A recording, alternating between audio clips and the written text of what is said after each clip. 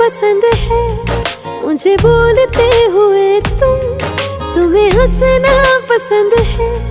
मुझे हँसते हुए तुम, बस इतना ही फ़र्क है। तेरी